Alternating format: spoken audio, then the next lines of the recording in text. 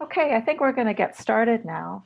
Um, we'll start uh, by um, thanking a bunch of people as these things uh, often work. Um, this was an idea that some of us had in uh, after, I think it partly in, inspired by an event that took place in the US, um, organized by the American Association for the History of Medicine. And we thought there's a lot of uh, work being done in Canada, and we'd like to showcase some of that um, historical work on the significance of pandemics and epidemics um, for a Canadian audience. Um, I couldn't have done this without a lot of support from various panelists, some of whom you'll meet tonight and some of whom you'll meet hopefully at future seminars. Um, especially I want to thank St. John's College, which helped me with some organizing work uh, early on, especially Amy Craddock. Um, the Canadian Society for the History of Medicine, which has been um, supporting this event, including uh, giving us a bit of funding to hire Chris Colesso, um, who will be um, from now on handling most of your registrations and questions um, going forward. Um, I want to thank above all, I guess, Anya uh, Moody Foster, who's in the back there. Um, Anya works at the Manitoba Museum, and through um, a friend of mine, Leah Morton, we connected uh, about getting some support for hosting an event like this, um, which I've never done. Um, and also, the museum has webinar, webinar add-ons, so we're very thrilled um, with uh, Anya's support. I couldn't have done it without her. Um, so this is a Zoom webinar, which means that you're only going to be able to see and hear the presenters. And there is a chat function um, that's on the bottom of your screen there. Um, and you can write comments and questions at any time, but th those comments are only available or visible to the panelists. Um, so we will have a question and answer session at the end. Um, and that's the, the best way if you have questions or comments that you want to make um, to type them into the chat function. Um, this presentation and the session will be recorded and posted on this Canadian Society for the History of Medicine Facebook page. And if you don't follow them already on Facebook, you can access it through their website. So first, we're going to have short presentations from each of our three panelists which includes myself, uh, Professor Magda Fahrni, and Professor Mark Humphries. And then the three of us are going to chat with each other a little bit, responding to comments that we've made um, on tonight's theme, which is um, historians, flu historians responding to COVID-19. And then at the end, we'll open it up for audience questions and comments. And we're hoping that the whole thing will be about an hour or maybe a little bit longer. Um, so first of all, we'll do um, presenter self-introductions. So Magda, would you like to? Introduce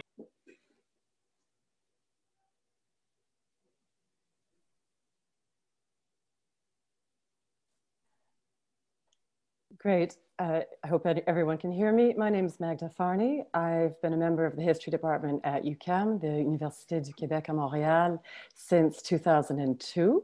I'm a historian of uh, 19th and 20th century Quebec and Canada. I specialize in the history of women and gender, uh, the history of families, the history of health, and the history of welfare. And uh, some years ago now, I spent uh, several years actually working on the influenza pandemic of 1918 and 19. And with Esyllt, I co-edited a volume on influenza that came out in 2012.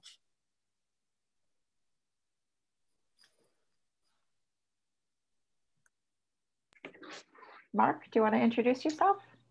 Great. Uh, well, first of all, thank you for having me um, as part of this panel. Uh, I'm a professor, associate professor of history at Wilfrid Laurier University, and I've been there since uh, 2014. And I was at Memorial University before that. Um, I'm a history of medicine scholar as well as uh, kind of a, a, general Canadianist, but I work on military history too.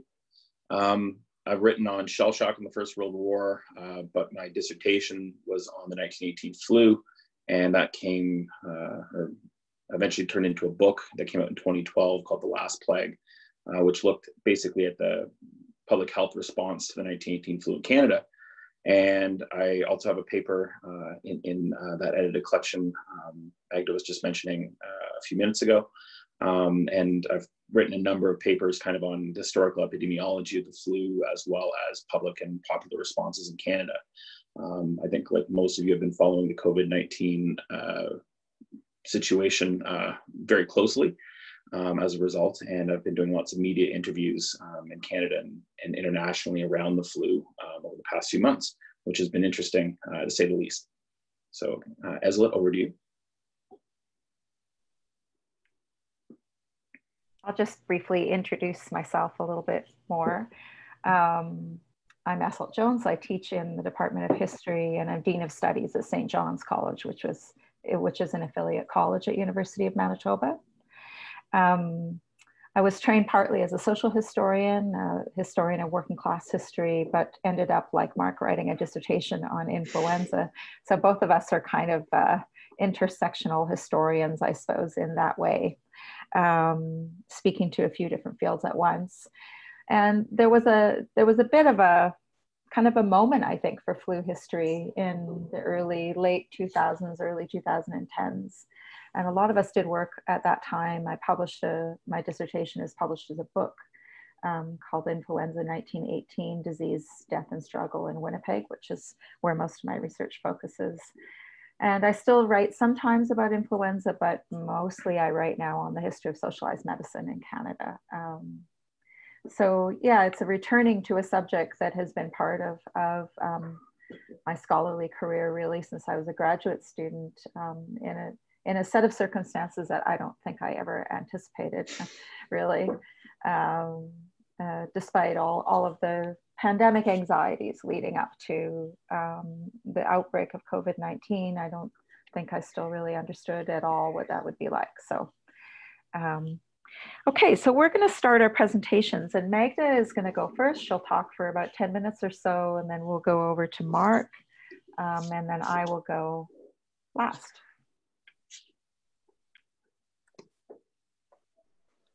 Okay, so many thanks uh, to Esyllt for organizing this roundtable. We've all been struck, I think, over the past few months uh, by the keen interest among the media for history and for what history might teach us in the current context. And it seems as though more than ever, uh, historians have been present uh, on the radio, on TV, in the press.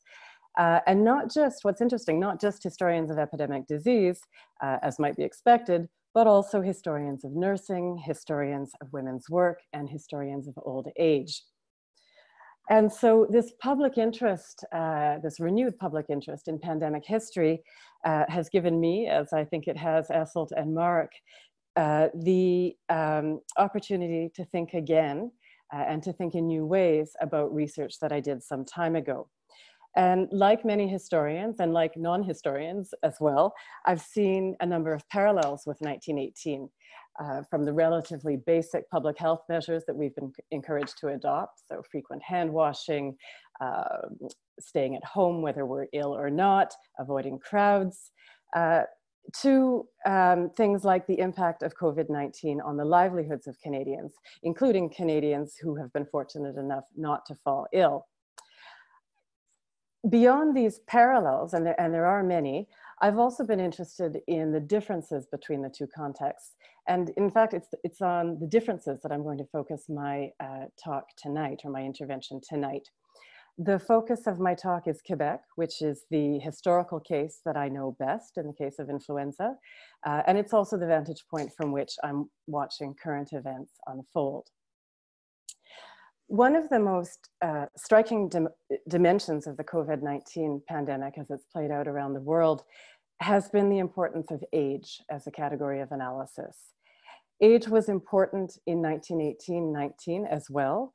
Uh, I think that every historian of the influenza pandemic has remarked upon the extent to which the flu targeted young adults between the ages of 20 and 40 uh, in Montreal, the average age of those who died of influenza in the fall of 1918 was 25, and this was the case both for men and for women.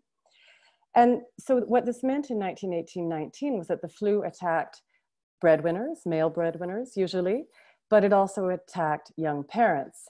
And Esyllt's work in the archives of the Mother's Allowance Commission of Manitoba in the early 1920s shows that a significant number of working class mothers left without a breadwinner after the pandemic relied upon new provincial welfare measures, such as mother's allowances, in order to support their children. So the brunt of the flu epidemic, the brunt of the epidemic in 1819 was borne by adults in their 20s and 30s. This time around, it's the elderly who've been the most severely targeted by pandemic illness. As of June 3rd, almost 98% of COVID 19 deaths in Quebec were of persons over the age of 60, with a full 92% of these deaths striking people over the age of 70. The COVID 19 deaths in Quebec, and as of yesterday, there were uh, almost 4,800 in, in all, uh, these deaths have brought to public attention a state of things of which many Quebecers were already all too aware before the pandemic, and that is the disastrous state of long term care homes in Quebec. Um, this is the case both of public long term care homes, known as CHSLD in Quebec, and private long term care centers. And like their counterparts in other provinces, these institutions are chronically understaffed um, as in other provinces, the past 15 years or so have seen an increasing number of private institutions, read for-profit institutions, opening their doors. And what we've seen over the past few months are outbreaks of COVID-19 in long-term uh, care homes in Quebec then, as elsewhere. BC and Ontario obvious, obviously have had their share as well there are a couple of differences, I think, in the Quebec case, and one of them is, is structural, or, or maybe historical is the better word, in the sense that there is a long-standing institutional model in Quebec um, that means uh, that a greater proportion of the elderly are in long-term care in Quebec than elsewhere. The other factor that's played a huge role in Quebec over the past few months is the fact that healthcare workers, uh, such as nurses, aides, or orderlies, or cleaners, often non-unionized and underpaid, frequently worked in more than one long-term care home. And unlike in BC, uh, public health authorities in Quebec didn't step in to prevent the circulation of workers among care homes until it was far too late. Uh, even in May, some, some health workers were, were still moving from one institution uh, to another. So this question of age, uh, which has been extremely important in the spring of 2020, brings me to a second question, and this question of long-term care homes brings me to a second question, and that is the question of who cares. Uh, who took care of influenza patients in 1918-19? Who's looking after victims of COVID-19 today? Historians such as Esyllt, uh, Linda Quiney, and I have written a great deal about those who tried to care for the ill in Canada in 1918-19. And these people included physicians, of course, doctors, uh, but also, and, and perhaps especially, uh, nurses, nuns, volunteers, and family members. Some of this labor was paid, but much of it, and I think here of the work performed by nuns or volunteers or mothers or sisters or daughters or aunts, wasn't. This unpaid labor performed in great part by women was of course an intensified and, and, and riskier uh, form of their regular domestic labor. Some of those who've contracted COVID-19 and have fallen ill have recovered at home. So the home remains a site of care uh, today. The very sickest patients have been treated in the intensive care units of hospitals. An important number of the ill are in long-term care, uh, long-term care homes, as we've seen, both public and private. In the private institutions in particular, the people looking after them are precariously employed and poorly paid. Many healthcare workers without job security work, as we've seen, in several long-term care homes. Many of them belong to Montreal's migrant communities. Uh, some are asylum seekers uh, working on temporary visas. And many of the COVID-19 cases in the community, so outside the long-term care institutions, can be found in Montreal North and in Rivière-des-Prairies, which are neighborhoods uh, where many healthcare workers live. And so there's a real concentration in the institutions and then in the neighborhoods um, uh, where, where healthcare workers reside. Um, not all of these orderlies and cleaners and nurses' aides are women, but around three quarters of them are. And so these women find themselves having to reconcile their paid domestic labor, what, uh, what sociologists beginning with Everett Hughes have called the dirty work, with their unpaid domestic labor at home in conditions that are even more taxing and more dangerous uh, than usual.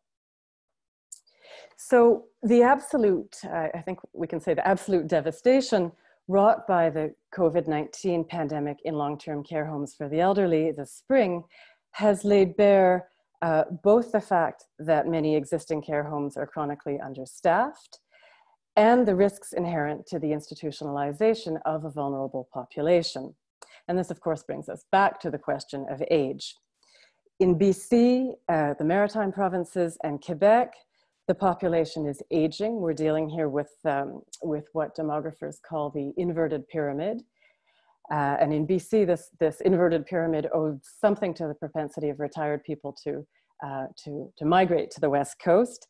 In the Atlantic provinces and Quebec, it tends to be a combination of factors, uh, regional outmigration, uh, lower immigration rates, and low birth rates.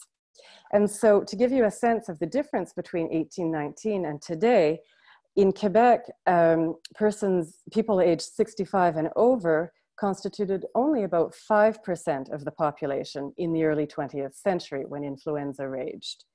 Uh, in 2026, they will likely make up a full quarter of the Quebec population. And so clearly one of the collective decisions facing aging societies in both North America and Europe will be how to care for the increasing numbers of retired and elderly people over the next decades. Uh, are long-term care homes the solution uh, or should the state be investing in new and innovative uh, forms of home care for the elderly? This brings me uh, to the third uh, and final topic on which I'd like to touch here, uh, and that's the nature of the private home, or maybe more precisely, the relative privacy of the private home. In 1918, 1919, influenza manifested itself so suddenly that both regular hospitals and makeshift emergency hospitals were quickly overwhelmed. Many, perhaps most of the ill, were thus cared for in their homes.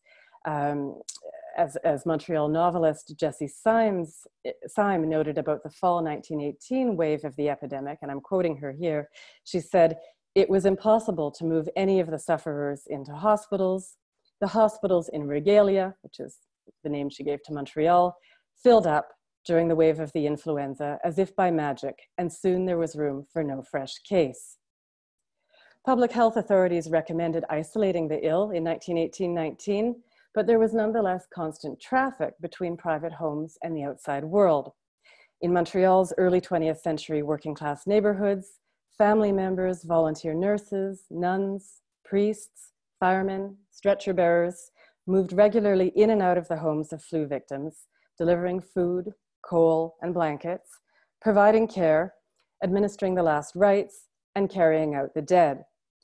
Indeed, home visits constituted a kind of anthropological research for many socially active middle class women, exposed for the first time to the extent of poverty and deprivation in the city. And this constant movement in and out of flats and houses was quite different from what we are uh, seeing in the spring of 2020, which is an insistence uh, on, on social distancing and the expectation that whether we're ill or not, uh, we must self-isolate. People need to self-isolate, leaving their homes only for necessities such as groceries. And what struck me, one of the things that struck me is that it, it's appeared quite easy for many Canadians, uh, particularly salaried Canadians able to perform non-manual labor from a distance, to hole up in their homes and rely upon the internet and online grocery orders and Netflix. Uh, the private home appears to be much more private now than it was in 1918, or at least for those with stable sources of work and some savings. And yet, uh, after 12 weeks of lockdown, the toll taken by isolation and solitude on the elderly in particular, but also on teens and children, is becoming very clear. We've seen a significant number of people over the age of 70 isolated in their homes with visits from fam family members prohibited.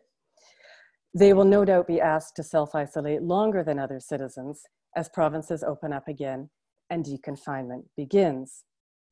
In Montreal, as in many other places in Canada, high schools and most primary schools will remain closed until September. Children, and especially teenagers, are champing at the bit uh, deprived of the structure and sociability of school, sports, and time spent hanging out with their friends. Historian of children and youth, Cynthia Comacchio, goes so far as to argue that COVID 19, and I quote, is the generational marker of these teenagers, defining their cohort identity historically and through every stage that remains to the end of their lives. End of the quote. On October 31st, 1918, Montreal Mayor Médéric Martin wrote a highly critical letter to the city's Board of Health, arguing that the board had dawdled and that its efforts to halt the spread of influenza in the city were essentially too little, too late. Similar criticisms have been leveled at Quebec's current premier, Francois Legault. Public health experts and armchair observers alike have argued that self isolating measures should have been put in place in Quebec as early as March 5th or 6th, at the end of the province's spring break and before travelers returned to work and children went back to school. Hindsight, of course, is 2020. While we are already able to draw some lessons from the current crisis, the longer term consequences of the COVID 19 pandemic are difficult to predict, at least as long as we remain in the midst of history. Thank you.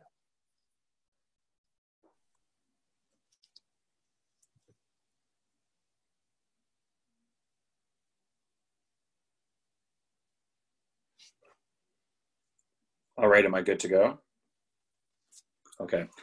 Um, well, thank you again uh, to Magda. That was a, a fascinating um, presentation. I think uh, leads quite well into what I wanted to talk about tonight.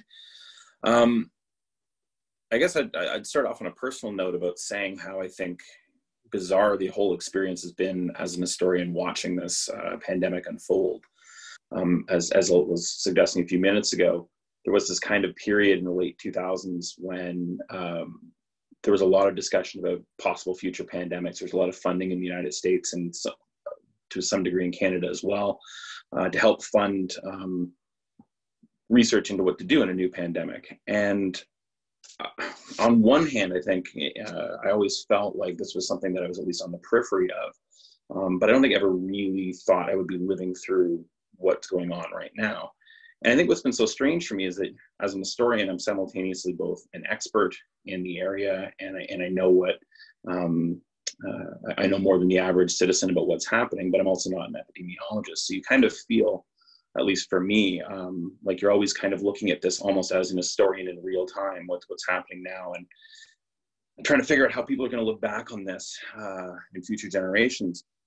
And that's really what I want to talk about tonight, because I think what has fascinated me the most is the way in which history has been both uh, simultaneously invoked um, by the media, by epidemiologists, by public policymakers, uh, as well as ignored. And I think um, those two things happen often at the same time. Uh, we cherry pick, as we often do, I think, in uh, popular discussions or public discussions, examples that that fit what we uh, the narrative that we're already crafting um, beforehand. I think for me, the the thing that uh, the way in which I think future historians will look back on coronavirus will be very different than the way in which we're experiencing it for obvious reasons. I think that's probably a bit of a trait uh, observation, but when I started writing my flu book, what initially fascinated me, uh, fascinated me about the influenza pandemic in 1918 was it was seemingly this massive, largely back in the 2000s, somewhat still unknown event. Uh, and I thought I was going to kind of delve into these archival sources and realize, you know, discover things that um, this kind of major event that had transformed society. And as a very brief kind of personal anecdote, my great grandmother um, was 106 when she passed away in 2006 when I was still doing some of this research. And I was able to actually talk to her. And I thought, I'm going to have this chance of talking to this 1918 survivor. And I remember going with my tape recorder to, to go and record her because she was still sharp as a tack at that point. And I said, Nanny, so what was 1918 flu like? And she said, Oh, Mark, it was terrible. Let me tell you about the time we got quarantined for smallpox, though, when I was a little girl in 1910. And uh, the reality was that she had almost no memory of the 1918 flu. And the more I got into it, the harder I, I, I found it to actually get traction as an historian because so little of what happened in 1918 seemed to have a lasting effect. There were lots of things that uh, happened at the time that were um, significant, but um, as uh, I argue in the book, what flu really did was exacerbate latent underlying tensions. It didn't really um, provoke any kind of revolutions. The, the only thing that came out of it was this 1919 Federal Department of Health, which ultimately failed, but um, eventually gave rise to uh, the creation of at least a, a, federal interest in public health in Canada. And I think, weirdly, historians in the future are going to have a similar response to the coronavirus. One of the problems with 1918, the flu, was that in fact about 99%, 98% of people who got the flu survived. And that in comparison to all the other epidemic diseases in circulation in 1918, flu was a relatively mild illness in comparison to even things like measles, scarlet fever, diphtheria, tuberculosis, any of these other diseases. It's why my nanny said, oh, well, what about the smallpox uh, epidemic? That was a much more serious disease in her mind. And I think when we look back many years from now on COVID, I think one of the things that people have to admit right away is that, in fact, on the grand scheme of things, this is too a relatively mild disease in the sense that the infection fatality rate is relatively low, certainly compared to lots of other diseases. And that, in fact, as historical epidemics go and historical pandemics go, um, this is not going to be um, one, of, one of the major ones in history, at least in terms of its demographic effects. It, it's, uh, it tends to kill, unlike the 1918 flu, which, as Magda suggested, killed relatively young, healthy individuals who were not only breadwinners and parents, but people who contributed um, uh, to the demographic future of society in that sense. This disease has a very different profile. So, what I think historians are going to focus more on um, are the things that I probably ended up focusing on in 1918 the official and the popular responses to the disease. And I think the thing that'll fascinate people the most is probably going to be why we reacted in the way that we did um, to this disease that, in comparison to things like HIV, AIDS, tuberculosis, um, a number of other problems that um, we end up, I think, largely sweeping aside as we discuss uh, coronavirus or focus exclusively on coronavirus. Um, I think that those will, it'll be that response that we're become so interested in as historians. So for me, I think as a 1918 flu historian, what really struck me in watching the events of the last few months unfold and getting asked to comment on this in the media uh, in a number of occasions is the way we so quickly developed a universal response uh, to the pandemic in a way that I, is certainly unprecedented in history. Um, the move towards lockdown happened remarkably quickly. I don't know how many people were following things back in January, but um, when this disease first emerged in, in Wuhan, I was following it um, relatively closely. And all the commentary initially was, well, no one in the West will ever attempt anything like was attempted in China. And then very quickly in February, that narrative began to shift, and it began to shift as mortality began to look much higher. Initially, the uh, World Health Organization suggested it could be as high as 3.4 percent um, and you end up with uh, um, moves to try um, and avoid what happened in Italy, which was an overwhelming of the healthcare system there.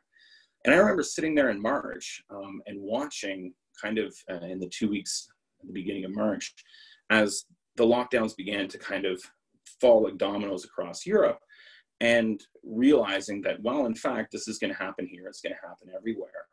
Um, and I guess what was remarkable about that to me is the way in which there was so little historical precedent to support what was actually happening at that time.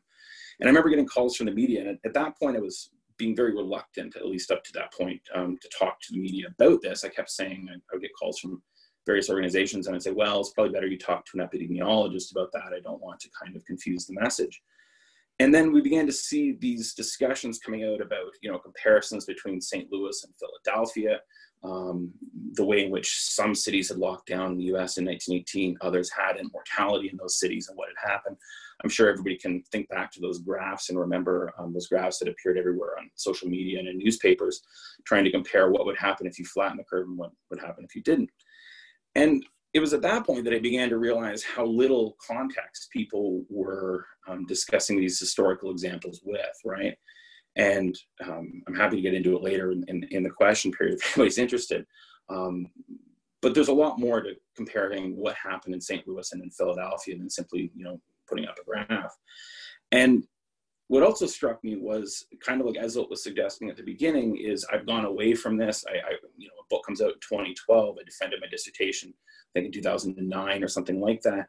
And I really hadn't revisited flu much since then. And the reality was that this kind of drew me back into it. And the strange thing is, I have a vivid memory of sitting on panels with people, um, as you know, the token historian, um, with people from the CDC and and and, and other places uh, in the U.S. where it was being discussed. What would you do in, in the next pandemic? This sort of thing, pandemic preparedness in general, and non-pharmaceutical interventions came up repeatedly. And I remember so vividly talking about how I thought the way in which you know Alberta had proactively in 1918 mandated wearing masks, for example, or Saskatchewan, um, attempts to, you know, ban public gatherings, how these were proactive responses that might well have had some kind of effect on mortality and, and or at least uh, morbidity in terms of the spread of the disease. And I remember people kind of, you know, looking at me and saying, "Oh, isn't that kind of nice uh, that, that you would think that?" But you know, this isn't really how non-pharmaceutical interventions work. They aren't really all that effective. And so, I guess what I found so interesting was the way in which the narrative had clearly shifted in 10 years away from this idea that flu is something you could control through limited interventions to this idea that you could actually stop a new novel respiratory disease in its tracks with lockdowns. And the reality is, so much of that was based on, I think, modeling, um, which to me is such a fascinating topic um, to look at where those models come from. Because again, a lot of the most famous models that were used to inform policymaking around coronavirus the Imperial College model, for example, were largely influenza models that had been adapted with new inputs uh, for coronavirus. And what the narrative was back in February and more so in mid March, as, as we started to kind of shift into this lockdown mode that we're all still in today, at least to an extent, um, was that the purpose of the lockdowns themselves weren't to prevent mortality, it was to do what uh, some people argued happened in 1918, which was to control the spread of the disease, to flatten the curve, as we would say today in the hashtag way, um, in order to prevent hospitals from being overwhelmed. And I think what is remarkable to me is the way in which, since that point in time, um, as we've learned more and more about the problems that lockdowns also bring about, and indeed there were many people, including myself, very early on, who were saying that you know there would be these problems. They, these were not unforeseen, uh, unforeseeable things that have begun to develop. Um, the secondary effects of lockdown versus the virus itself. What's fascinating is the way in which the move towards these universal lockdowns, to me at least, um, the policy trap that they put politicians into. Because what I think was also so remarkable, which historians will be interested in, was the way in which people almost universally bought into lockdowns in a way in which I don't think policymakers, public health officials believed was actually going to be possible. And I had a few discussions early on with various people that seemed to indicate that this was the case, that the fear initially was that no one would buy into the lockdown. And I think one of the problems that we run into now is that people are genuinely terrified. And that as knowledge about the disease has evolved, as we've learned more, as inevitably we do about any disease, one of the problems that we run into is how do you pivot away from a policy which in many ways has been so successful? And we can argue about the degree to which lockdowns are responsible for flattening the curve or um, other effects like that. But the policy itself has been effective in the sense that people have bought into it, have changed their daily behaviors, have changed their life patterns, have actually done all of these things that I think many people didn't expect we would willingly do. And the problem that we then run into is as we begin to realize that the models in many cases were not right in the sense that hospitals were unlikely to be overwhelmed, are unlikely to be overwhelmed, that it becomes very difficult then to see how you end up turning this corner going forward uh, in which you try and actually open things back up. Uh, and I think we're seeing this, you know, uh, throughout the West that as these this idea about um, lockdowns versus uh, uh, opening up the economy, quote unquote, becomes politicized, it becomes as much a problem to convince people that it's not a political choice, that these are things that, you know, we might be able to do as a result of more information we've learned about the disease that is not just simply about um, this necessary kind of policy response at this point. And I guess the point I'd conclude on with all of this is that, again, we're kind of in the middle of this, right? If not still towards the beginning. And so ultimately, when historians look back on these few months, these will probably be some of the most pivotal months because they set the stage for everything that's going to come later. But how we're judged in the last three months is largely going to come down to what happens in the fall and in the winter. Is there a second wave? And there's good evidence to suggest that there will be, uh, but there's also evidence to suggest that we simply don't know because flu and coronavirus are not the same things. And in many ways, then the verdict of history is going to rest on that kind of development. But either way, politicians and policymakers are going to have a problem, which is that in a so-called second wave coming up, how do you go back to a lockdown situation, having spent the money and uh, can you know come out of it like we're likely to do over the summer? Is that even a possibility? And if it's not, do you run the risk of convincing people then that everything they gave up in the spring, they sacrificed in the spring, was in vain? And this too, like I think Lord King mentioned in uh, um, early on in, in, England, leads to the possibility of widespread social unrest. Um, and this is that element of the popular response too that I think has gone has been so neglected by historians. How do people actually respond uh, to months and months of being locked down? They might buy in early on, um, but the question is, can this go on uh, um, forever? And the reality is no. Um, at some point, people do reach a breaking point. And I guess that's the point that I would end on there is this idea again that uh, we're kind of still at the beginning, but we're witnessing um, the unfolding of history, obviously, at the moment. Um, but we still, I still think we have no idea how the present is actually going to be looked at um, uh, as we uh, move into the future. So with that, I will hand it over uh, to Dr. Jones.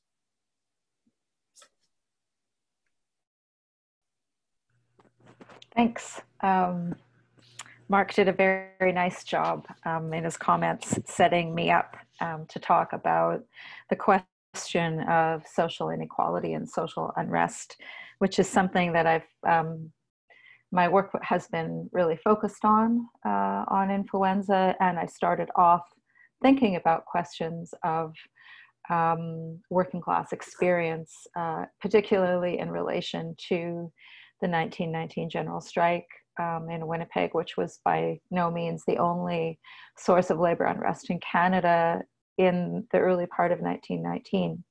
So I want to talk about my reflections, I guess, about what happens during a pandemic in a society, which is to say, I think just basically every society with deep social hierarchies. Um, uh, influenza, the influenza pandemic at the end of the First World War used to be referred to and still sometimes is referred to as the, a democratic disease, which is to imply that everyone was vulnerable and it affected people in the same way. Um, but it's not the same thing to observe that there were cases of influenza across classes, ethnic groups, races. Um, it's not the same thing to say that. It is as it is to say that the disease affected everyone equally or that it was the same experience for everyone. And certainly data is part of a solution to this problem and we see this today as data on the relationship between social inequalities and mortality are very complete. And um, as as a historian they were very incomplete as well for the period that i was studying. And historians and geographers and others have had to very painstakingly gather um, information that gives um, you know income levels that gives ethnic background um, that that talks about what happened with on reserve indigenous people and so on had to go through that rather painstakingly and piece it together. And that picture is still very incomplete. And in Canada, I can think, for example, of the rural experience, which is very little understood. And my research focused entirely on the urban context, on particularly on the urban poor. Certainly, there were a lot of inequities with the fallout from the 1918-19 pandemic. Um, there were inequities globally between countries. Um, places like Canada and the United States, which had death rates about six per thousand population, um, were much lower than there than there were, you know, death rates in parts of Africa, for instance. And again, we're still sort of starting to understand parts of what happened in what we call now the global South.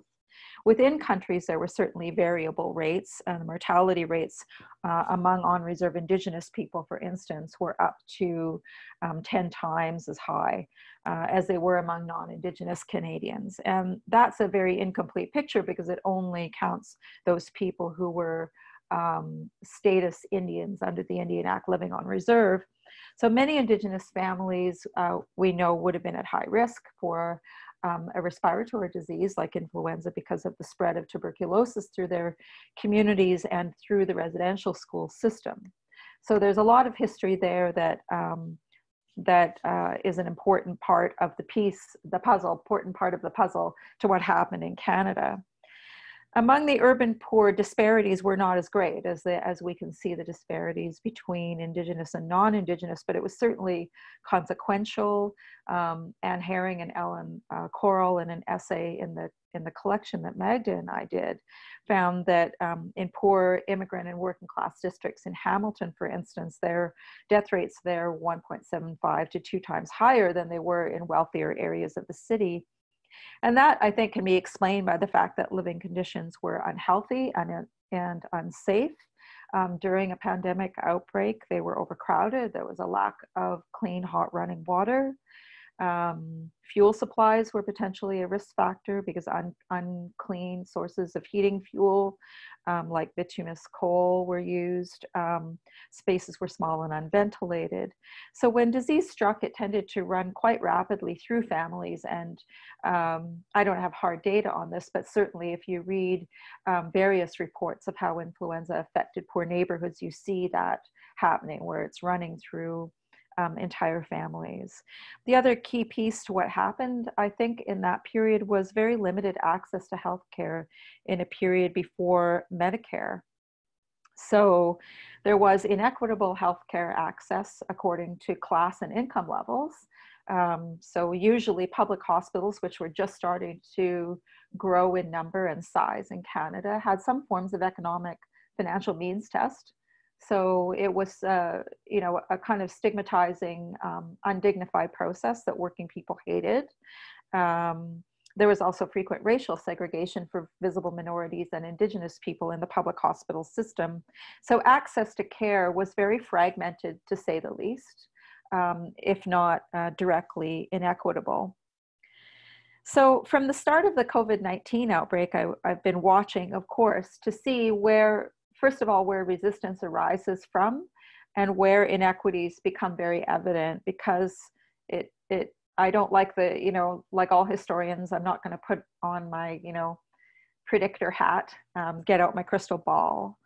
But it, I would have been very surprised if there weren't inequities that became part of our understanding of the disease um, because Canadian society, like US society, has deep systemic inequalities um, we don't know exactly what how this is going to work out yet. It's like you know, like Mark said, this is early days in terms of being able to provide perspective on what we're living through. Certainly, the impact of racial inequity in the U.S. is very alarming, particularly for African Americans, as they are, as Magda has um, spoken a bit about here in Montreal, where workers of color are drawn into this very problematic long-term care um, uh, system, I guess. Workers who are at the bottom of the occupational hierarchy, many of them newcomers, many of them in vulnerable immigration status um, situations. So those inequities, how do you explain them? Um, well, it's not about biology, it's partly about decisions. Um, decisions that governments make or don't make about disease containment. And the burden of disease control measures never falls equally on everyone. And there are lots of historical examples of that. During COVID-19, of course, as Magda said, middle class people with salary can live comfortably at home and work there. Um, while many working class people cannot stay home um, if they are able to keep employment. Closures in the service industry in Canada are disproportionately impacting women in the workforce. And it's difficult to see how this won't have long-term impacts on gender equality in the workplace um, in Canada. Uh, because especially if um, efforts by government continue to be focused on projects that they call shovel ready, which are you know infrastructure projects that very few women get employed in. So we need a gendered lens through which to look at the recovery from economic shutdown. But the biggest problem, I agree with Mark, for a flu historian is how, what do you think about the shutdown and how do you understand it? Uh, because it has no real parallels in 1918, 19. The shutdowns were of an order of magnitude different. Um, there was closed schools and churches in some places of leisure, but not massive closures of workplaces um, and not such deep unemployment, which poses its own challenges. So it's difficult to comment on this aspect of disease control from a historical perspective. So one can, of course, speculate that these closures saved um, us from much larger human losses, but this can not really be known with certainty, um, with all due respect to epidemiolo epidemiological modeling. Um, every infectious disease behaves in unique ways and comparisons are um, interesting, but I think still largely speculative. Um, and future historians are going to have to draw conclusions again about the impact of particular health measures, some of which those impacts are only going to become evident over the longer term. And here I want to say that numbers, I think, are only part of the of the the picture. Um, the flu stories or the, the historical memories of the urban poor and racial minorities in Canada during the influenza pandemic really emphasize and explain how qualitatively different an event it was for them than, say, for example, um, the middle class and upper middle class female volunteers who went into the homes of poor people during the pandemic. Um, so Often memories among working class people evoke the importance, for example, of mutual reliance in order to survive during an era of no income supports or public health care. And the impression left here is that the influenza pandemic was a communal event, not an individual one, despite the fact that the framing of public health messages was largely about individual behavior and the role of the individual in controlling the disease. And that shared experience is something that I've written about in my work and that I, I believe still, um, uh, you know, it gets more complicated when you're living through a disease to understand your prior frameworks. Um, but I think that one of the reasons we see post pandemic labor unrest in Canada after 1918 19 is this shared experience. So in Winnipeg, for example, the general strike reaches far beyond organized labor, those members who are in one way or another connected to um, the labor movement. So how can we explain this and how does this issue of the exploitation of labor become a wider concern with massive public meetings, peaceful demonstrations, and uh, during the strike, six weeks of sustained solidarity, which was uh, sufficiently threatening that it was only ended with state violence. Um, so living through the emergence of public unrest today has given me, I think, some greater um, maybe emotional intelligence around this puzzle that has always interested me. What's the connection here um, between um, social unrest and epidemic disease? Uh, because history is full of these connections. Cholera in the 19th century, the second major wave of cholera in Europe was uh, 1848, which is the year of the publication of the Communist Manifesto. Um, public unrest in India in response to the outbreak of the bubonic plague there in 1896. Examples are pretty much um, endless, but the how that works is still very difficult to interpret. So I've been watching to see where resistance might emerge. And at first, it seemed like this was going to be opponents to public health closures, um, supported by the populist right um, and by anti-vaccination movements. But in the last week, things have changed again. And the way in which the police killing of George Floyd has galvanized a very broad network, broader than usual, it looks like, alludes to something about this complexity, right? That it's the resistance may not arise directly related to a health crisis, but it nonetheless bears some of the marks of a health crisis. So groups like Black Lives Matter, built on generational struggles for Black um, equality, and like labor rights in the early 20th century, this is an already existing social issue that COVID doesn't cause, but it in some way highlights it. And I just want to conclude by quoting from um, a woman named Roxane Gay, who writes for the New York Times. She's an African American woman uh, she wrote an article on May 30th um, called Remember, No One is Coming to Save Us um, in response to uh, Floyd's death. Uh, and I think this really nicely captures, uh, you know, this kind of Rubik's cube of pandemic and unrest. The disparities that normally fracture our culture are becoming even more pronounced as we decide collectively what we choose to save, what deserves to be saved. And even during a pandemic, racism is as pernicious as ever. COVID 19 is disproportionately affecting the Black community, but we can hardly take the time to sit with that horror as we are reminded every single day that there is no context in which Black lives matter. Um, and it just so effortlessly brings these things together. I've, I've read that quote um, a number of times. So pandemics expose social injustices. We hear that now a lot. Uh, existing ones, they also, in my opinion, create new ones, new sources of injustices, new things to think about.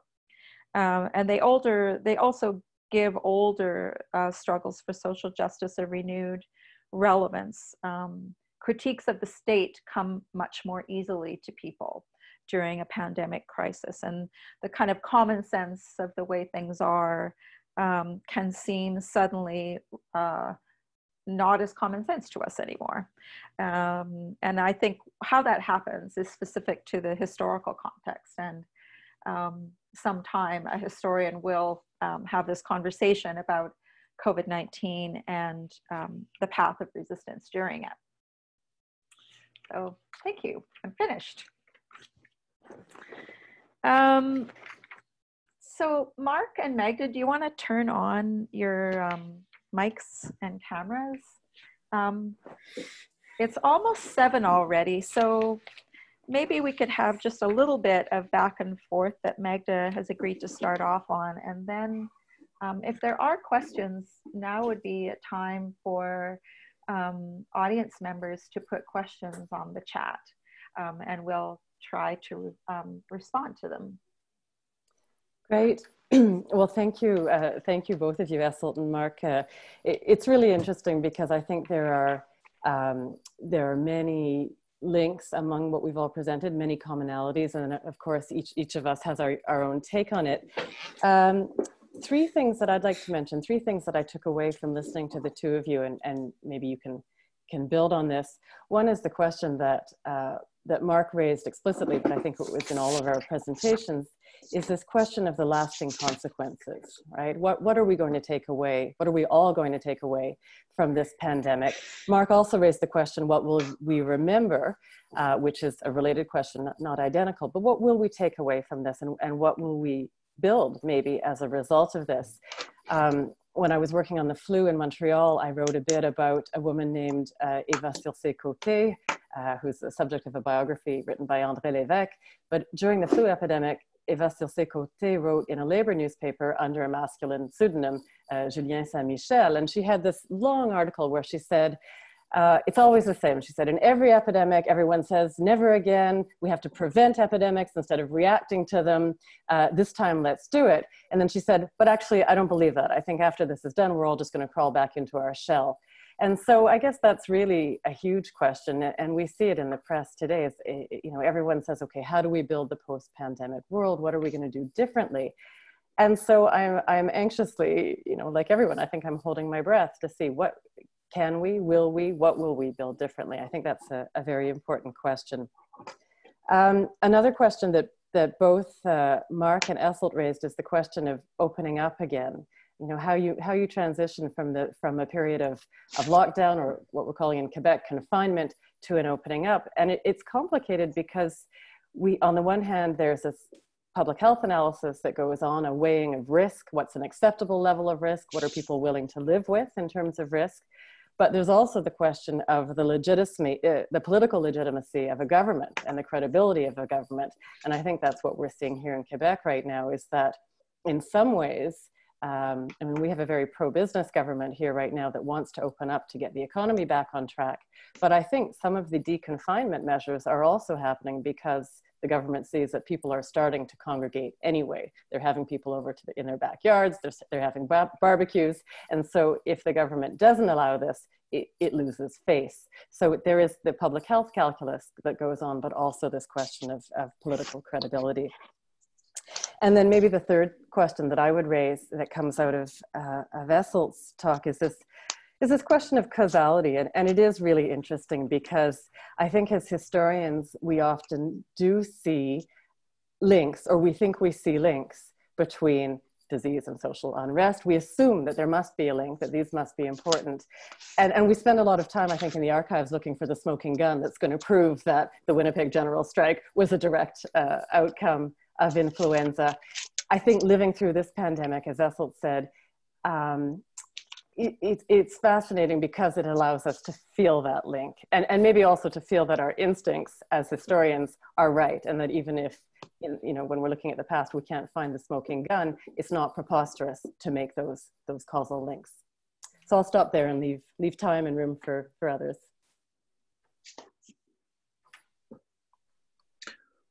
well maybe if i'll just um, uh, pick up on a, a, a, couple of those comments and uh, one of the things that kind of struck me listening to both panelists was again um, this notion that uh, it's so hard to kind of make sense of uh, what will be an historical event as it's still unfolding, right? Um, what I was thinking of when Esyllt was talking um, was again kind of going back to uh, an article that I used to have a lot of trouble uh, understanding when I was working on my own flu research, which was um, Richard Evans' article on epidemics and revolutions. And um, I remember being so perplexed by that article because it felt like cholera should have caused revolutions. And that when you actually boil down to it, you, you know, you, the argument being that epidemics bring latent tensions to the surface, they don't necessarily um, themselves cause revolutionary change. And I think Esyllt's getting at that, and, and, and she did in, in, in her work on um, Winnipeg General Strike, but I think that that's also one of these. That's the next chapter that we're going to face here in, in COVID, right? That um, eventually, as this all at some point comes to an end, um, the question will be what are the lingering effects, as Magda was suggesting a minute ago. And I think in a lot of ways, it, those things have been brought uh, to a boil um, at the moment and will be over the next few months. Um, will probably tell us a lot more about uh, what the lingering effects of this epidemic will be.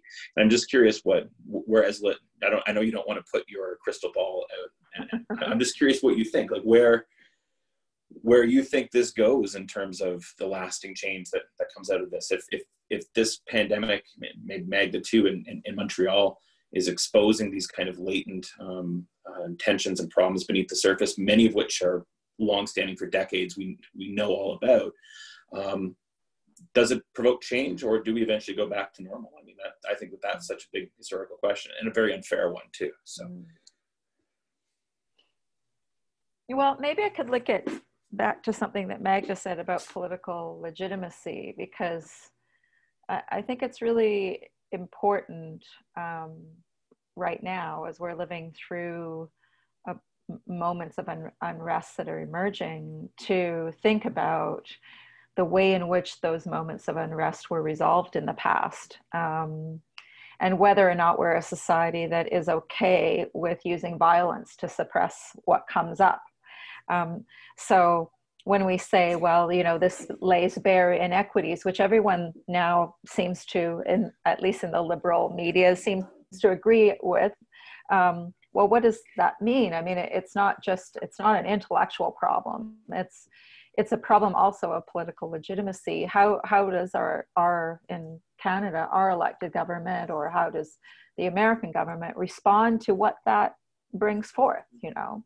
And i think to some extent what will happen next depends on that response because if you use force um, if there is a repression, an active repression and suppression of dissent, it makes it much, much harder for the, you know, the claims on greater equality that people might make to gain any traction. Um, and they take longer to get to that point. But one of the things I didn't talk about, which I have been thinking about a lot, is how much public health officials after 1918, 19 talked about the importance of public trust and how how much they defined public trust as consent. And they yeah. didn't see any point in um, quarantine, for instance, which is very different from what we hear. We still want consent, but we want consent for lockdown, right? And it's so their their consent had more to do with education and with being able to convince people to follow, you know, um, better hygiene practices um, and so on. I think at the time nobody expected the public to ga- give consent for widespread um, isolation or quarantines because these had historically invoked pretty negative responses from people. Um, and what public health officials at the time wanted was that people would come forward and report their cases. And they didn't want them hiding their cases in the home.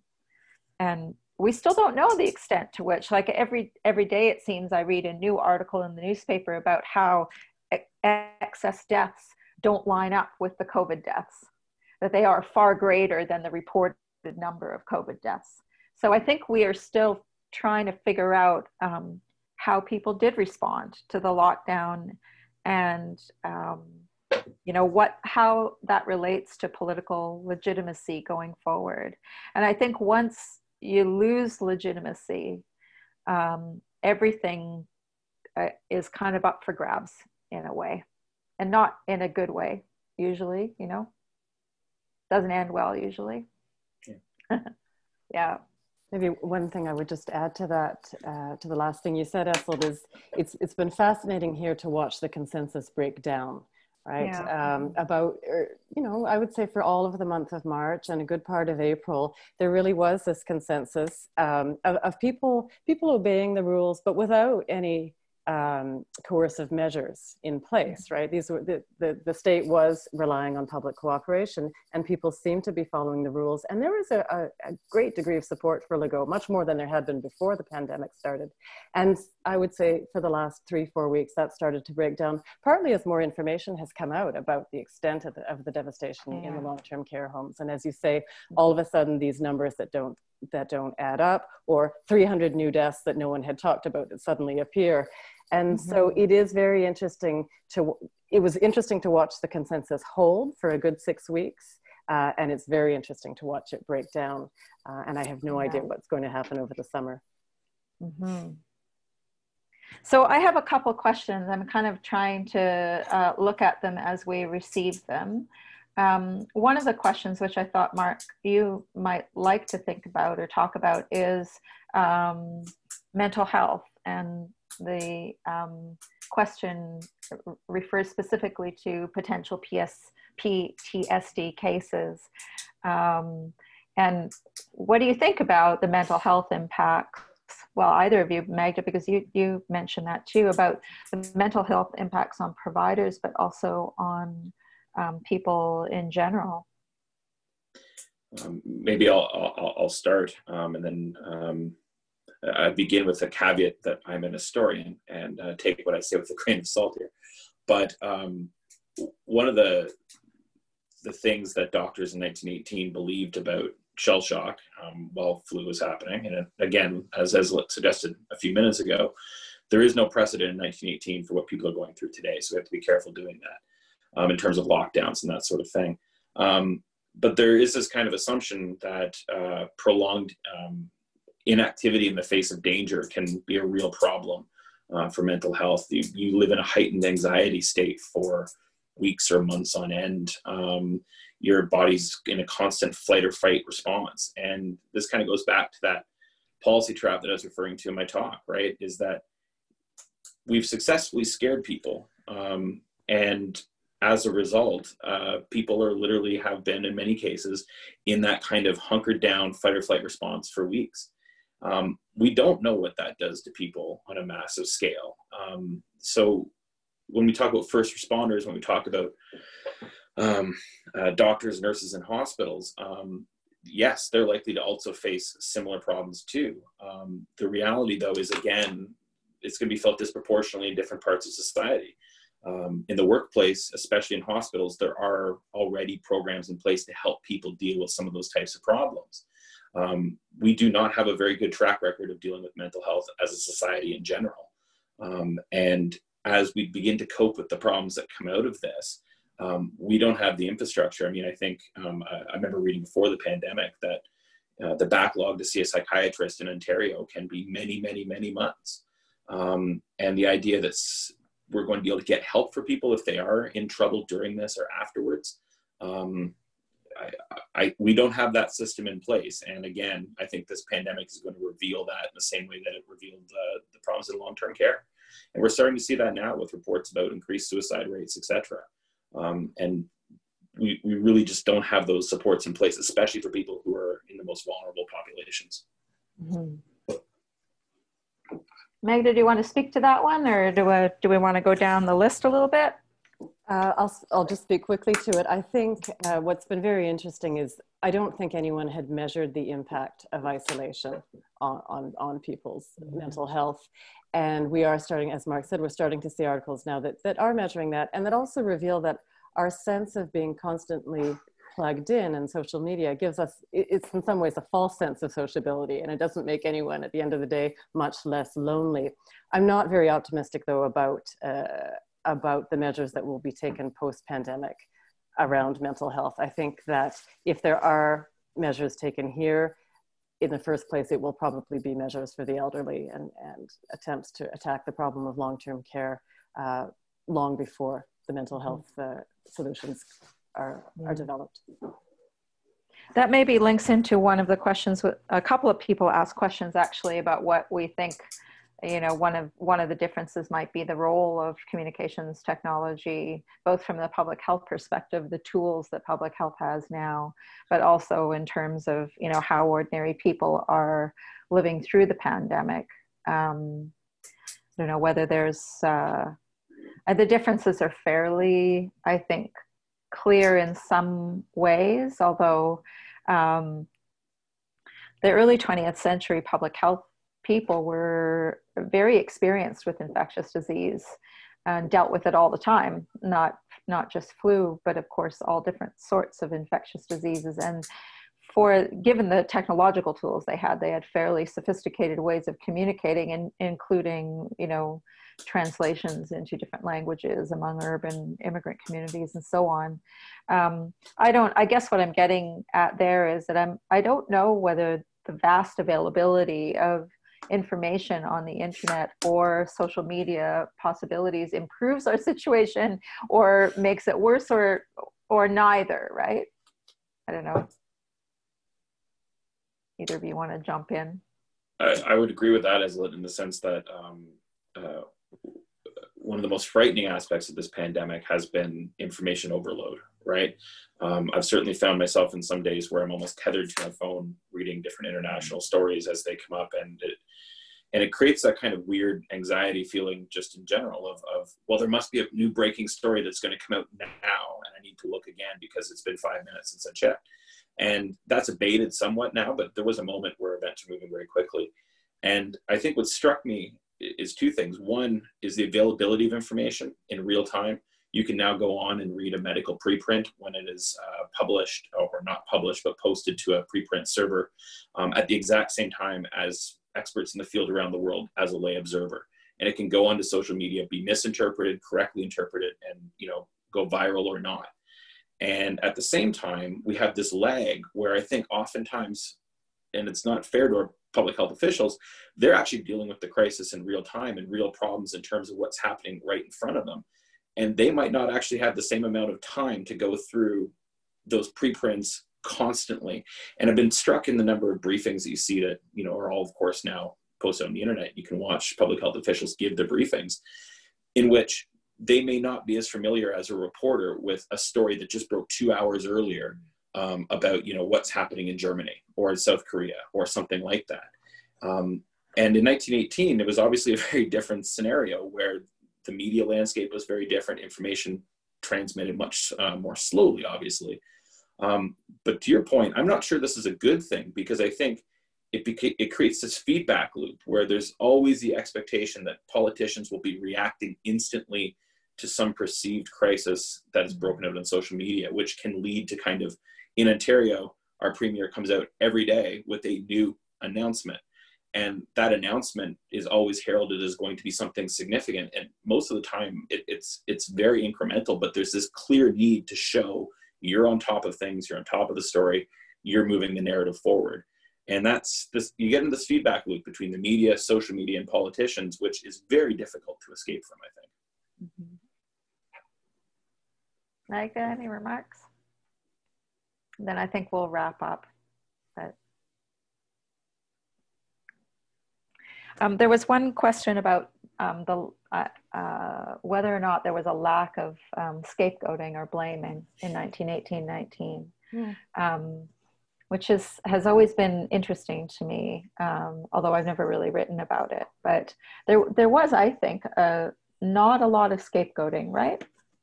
Uh, and Canada. Yeah, what I saw in, in Montreal, it's interesting. I was just thinking about this today. Um, I, I spent a lot of time looking at letters that citizens, Montrealers, wrote to, to City Hall during the influenza epidemic. And essentially most people are using the, the, the, influenza pandemic as an opportunity to kind of um, let the city hall know what's been bothering them for years, right? So all of a sudden the, the, the epidemic becomes a pretext to dig out much older concerns. I found several letters at City Hall uh, written by Montreal small businessmen um, who made anti-Semitic remarks and these were often small businessmen who, you know, grocers or butchers, sometimes dry goods merchants who had stores on the main, on, on Saint Laurent Boulevard, in what was um, the center, the heart of, of Montreal's early 20th century Jewish community. And so you'd see the anti Semitism come out where they'd say things like, oh, this so and so shopkeeper who has the shop two doors down, his shop is always dirty and dusty, and it's probably a source of influenza. Um, so that is what I saw. But I would say I saw surprisingly little scape, ethnic scapegoating um, in 1918-19, less than I expected to find. Um, but that, that's the example that does come to mind, and I saw several examples of that. Mm-hmm. Um, one of the uh, uh, audience members asked a question a little bit ago about, and, and mentioned Frederick Montizambert, um, who was a Director General of Public Health in 1918. Um, and I would agree that generally speaking, there was relatively little scapegoating, at least compared to other epidemics of that time. Um, but we have to remember too, I think that early on in the pandemic, the, the main effort of the federal government uh, was to try and keep the disease out, quote unquote, by closing Canada's immigrant ports, right? Mm-hmm. And so there was this kind of sense in the summer of 1918 that immigrants were going to bring in disease into the country because that's how cholera had come in, in theory, in uh, the 19th century. And what, what's interesting is that that very quickly failed. That uh, when the disease actually, when flu comes into Canada in 1918, it's largely across the Canada-U.S. border. It's with soldiers coming from the United States into Canada. Um, it's with uh, um, Catholic uh, um, congregants who are returning from a Eucharistic Congress in New York to, uh, to Quebec. Um, and so very quickly, that kind of old idea that this is an outsider disease simply evaporates because it spreads so quickly.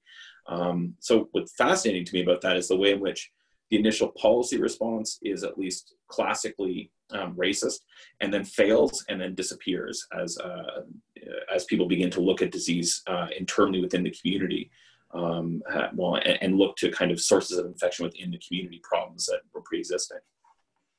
Yeah, that's interesting. One of my favorite public health quotes is from a British medical officer of health who said in 1920, when talking about flu that there's there is no way to keep the wolf out of the sheepfold um, which is just kind of a, a funny metaphor in a way but it sort of reveals how you're right they had just kind of like nah no that's not the way we can solve this problem yeah. um, with that with that kind of mentality um, but I, I, think we should wrap up because it's now 7.19 on my clock um, I think, yeah, I really enjoyed this. It was, uh, it was great to get to talk flu again with my uh, flu colleagues. Um, but thank you so much to the audience participants because the response to um, this series has so far been just fabulous and a very broad array of people are signing up um, to be part of it. Uh, people from different